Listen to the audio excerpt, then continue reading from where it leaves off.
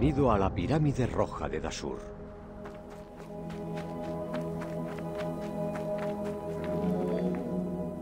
La pirámide roja fue edificada dos kilómetros al norte de la pirámide acodada. Se llama así debido a la caliza roja utilizada en su construcción. La pirámide roja tenía 105 metros de altura.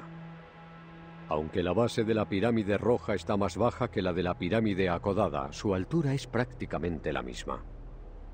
La idea de convertir la pirámide en un objeto geométrico realmente liso vino acompañada de un nuevo elemento, los bloques de recubrimiento.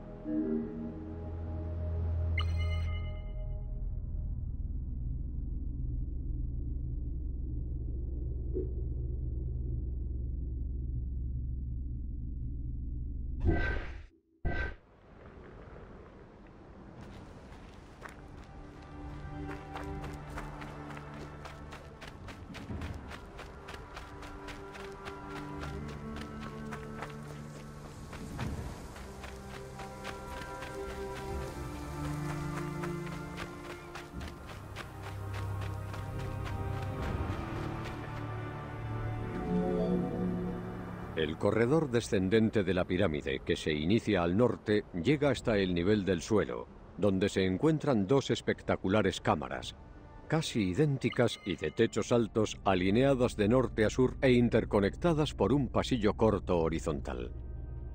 En la pared sur de la segunda cámara hay otro pasillo, al que se accede por una escalera que lleva a la última cámara, formada por la propia mampostería de la pirámide y con alineación este-oeste. El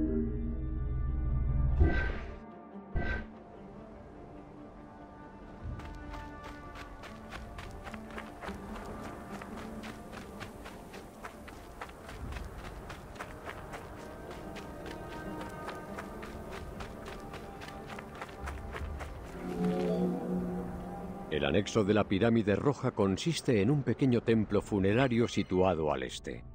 Se cree que una calzada iba hacia el este desde el templo, pero aún no ha sido excavada.